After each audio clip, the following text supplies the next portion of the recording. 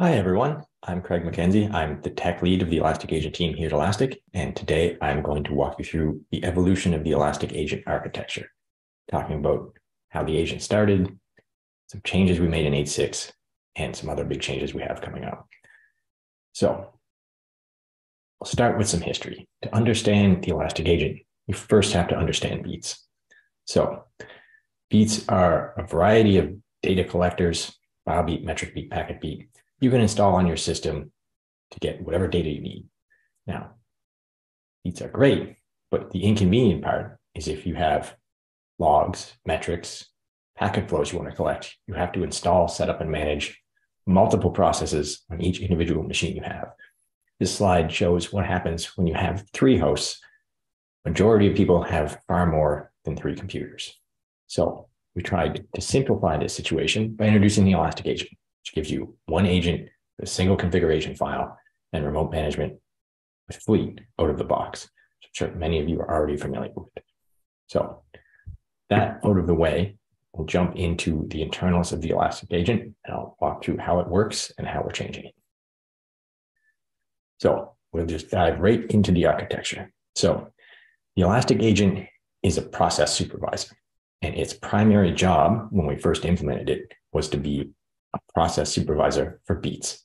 So much so that it encoded specific knowledge about how to run beats into itself.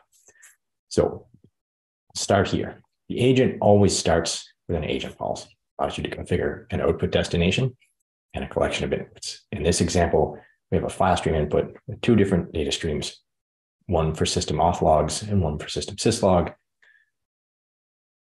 So the agent begins by reading this configuration file.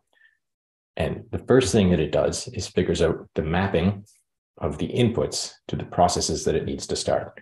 So inside the agent, it knows that an instance of the file stream input type maps to an instance of the file beat process. Um, it additionally has rules internally to generate a beat configuration file from the agent policy, which is shown over here. It looks almost exactly like what you would write by hand if you were configuring file beat to run two file stream input instances. In this case, we have one file stream input in the agent policy where each data stream generates an instance of the file stream input in FileBeat. And we've additionally generated some processors to enrich the data output by FileBeat to be compatible with agent. So we include the target data stream, some additional metadata, um, that type of thing. Um, so now that we've got the configuration file and the agent internally has somehow known to start FileBeat, which I'll get to later in the presentation. Um, agent launches FileBeat as a subprocess. Agent implements a subprocess operator, operates on a control loop driven by what we call agent control protocol, which just operates over gRPC. Um, so what happens when FileBeat launches under agent is the agent configures it with a command line argument telling it is being managed by agent. And FileBeat will be given the destination for a gRPC server and start an agent control protocol client that every 30 seconds is expected to connect back to the agent subprocess operator and tell it its observed state, which always includes the current state of the process, either healthy, degraded, or failed, and then its current configuration. First time FileBeat is run, the current configuration will be empty. The agent's job here is to drive the observed state to the expected state. So seeing an empty configuration agent will send it the generated beat configuration, at which point the beat will apply the configuration essentially the same way it would if you had written this configuration by hand. Um, and then every 30 seconds, FileBeat keeps checking in, looking for new configuration updates uh, and posting its current status. Um, so at this point, FileBeat isn't all that dissimilar from what you would write by self, except we've introduced the agent as a process manager. So one thing that I should highlight is that the status reporting at this point is per process. So FileBeat reports FileBeat process level global status for every input that it runs, which we've come to learn is a giant flaw in this architecture because there's no concept of an integration anywhere in this model. When something goes wrong, all you'll see is the agent isn't healthy or FileBeat isn't healthy, which generally is not helpful because you probably installed an integration, or maybe you are using a standalone agent and you've written a collection of inputs that you care about. Right now, you have no way to map the health of the agent back to what has actually happened. So starting in 8.6, we have completely changed the process model of the agent to try to drive it to have a more obvious mapping back to integrations. So there's a lot to take in in this slide. I'll walk you through it. So first big change is that rather than starting every input that FileBeat could run in a single instance of the FileBeat process or metric beat process, um, we now always start an instance of the running process for each unique input type. So before 8.6, if you had two file stream inputs and one syslog input, you would get a single instance of FileBeat that was running all three inputs. In 8.6, you now get an instance of FileBeat that only runs file stream inputs and a second instance that only runs syslog inputs. And the reason we did this has two purposes. One is fault isolation between different input types. Syslog fails, which shouldn't happen, then file stream is unaffected. And the second reason is when the agent collects CPU memory metrics and general performance metrics from these processes, we get a much better view into where the CPU used by agent is going. We can now say something like file stream log collection is using the majority of CPU, rather than FileBeat is using the majority of CPU, which can be any of the inputs that it started. Now, the second big change we made is to stop reporting state per process. Instead, we report state per unit. Per unit is an abstraction for a unit of configuration from the agent policy. So the important section here is this, which takes an extremely simple agent policy that starts a system metrics input and describes how the agent divides it into units for status reporting purposes. So here we have a single output unit and a single input unit. Um, so the output unit and the input unit in this case can now both report their state individually. Every process now reports state on a per unit basis, which means we can do something like say the Elasticsearch output unit of the system metrics input is degraded because it hasn't published any metrics for the previous 30 seconds. Or the file stream input unit of the FileBeat process has failed because it was unable to access the log files it was configured to monitor. Um, this gives us a much, much better reporting resolution where we can immediately surface errors. Um, and fleet managed agents always have meta information describing which package was the source of a particular input in the agent policy. So we can map back the input states directly to the integration. The one catch here is in 8.6, we only put this infrastructure in the agent itself. It now publishes a very detailed health report to Fleet, but we're still working through how to present this information in the UI in a nice way. So that's coming soon. Specifically, what the agent reports to Fleet looks a lot like this. There's a list of components. In the new process model, we refer to processes as components as a way of abstracting them. The agent can run many different types of things. Uh, processes it launches as sub-processes. Uh, individual services it installs in the host system. And in the future, there may be more things than that. Um, so this is an example of the health report where you can see for each component, which is a process, there is an entry for each one. So in this case, the ID is system slash metrics dash default, which is just the name of the input type concatenated together with the output name. And then there's a unit where the unit is similar. So system metrics dash default is the output unit. System metrics dash default dash CPU metrics is the input unit where the ID suffix is used here. So this says system metrics default CPU metrics because it's the system metrics input using the default output. And this instance of the system metrics input has the ID CPU metrics. If you run the Elastic Agent status dash dash output JSON command, You'll see this today if you run an 8.6 agent. Now, that's not the only problem we have to solve. We've learned that tuning the output on Elastic Agent can be extremely challenging in high data volume situations. So there is a very unintuitive mapping from the agent policy to what actually gets configured, and it's extremely hard to optimize.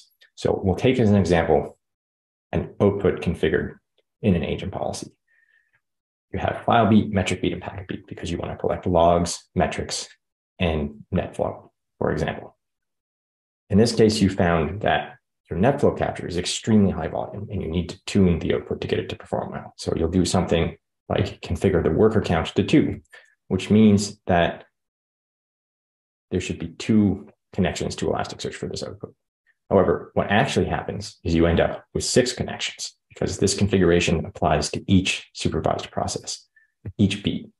You have no real way without this explanation of how the agent works to know which beats are going to be started or how many of them there are. And the output configuration is lying to you. You said there should be two. There's actually six. If you added, say, the audit integration, there would be eight. The same problem applies to configuring parameters like the max bulk size, which controls how large each request to Elasticsearch is when we use the bulk API. You may find that an extremely high volume data source needs a larger bulk size for efficiency reasons, but you could also have lower volume log sources in the same agent, or that introduces unacceptable latency. And you can't tune it for data stream or per process. You can only tune it globally for everything. It makes life extremely challenging. Similarly, you can't tune the queue. And even if you could, you could say something like, I want 100 megabytes of memory queue. The output policy would similarly lie to you because in this example, you would get 300 megabytes of memory queue. And finally, there's no easy way for us to implement global processing. It looks simple in this example because I've only shown beats, but the agent supervises things that are not beats, like our Elastic Defend integration. That is not a beat. It's a security application. It runs as a separate service, does not implement any processors from libbeat. If you wanted a global processor, say to add a company ID or tenant information to every piece of data output by agent, you can't do it right now. So taking all that into account, you come up with a solution. And that is to introduce what we're calling the data shipper, where the fundamental idea is to take the beats as they are today and cut them in half, where the input component of each beat stays as it is today, but the output pipeline, which consists of the processors, the memory queue, and the output, gets extracted into a separate process called the data shipper, where in the agent policy, each output that you defined is an instance of the data shipper process. And you can configure the processors, the memory queue, and the output for that specific process. This means that when you have a single output and you say, I want two connections to Elasticsearch, you actually get it. It makes it possible to configure the queue size in an obvious way. You say there should be 4096 events in the memory queue, that's actually what will happen. Furthermore, when you have multiple outputs, there will be multiple instances of the shipper process. So you will be able to route data to outputs with different performance characteristics or even different queue types in the future. And it allows a very simple implementation of global processing because all data from a particular input flows through the data shipper and the processors will apply to all of it at once, regardless of the process it originated from. So we're actively working on this and performance testing it now. Coming soon. Finally, we have made the Elastic Agent significantly more extensible it no longer encodes any information about the processes that it supervises. The input to process mapping, what processes to start for which inputs, is completely controlled by configuration that is packaged with the agent. So I'll give you an example. We'll walk through how the agent in 8.6 knows to start metric beat for the system metrics output. We'll start over here.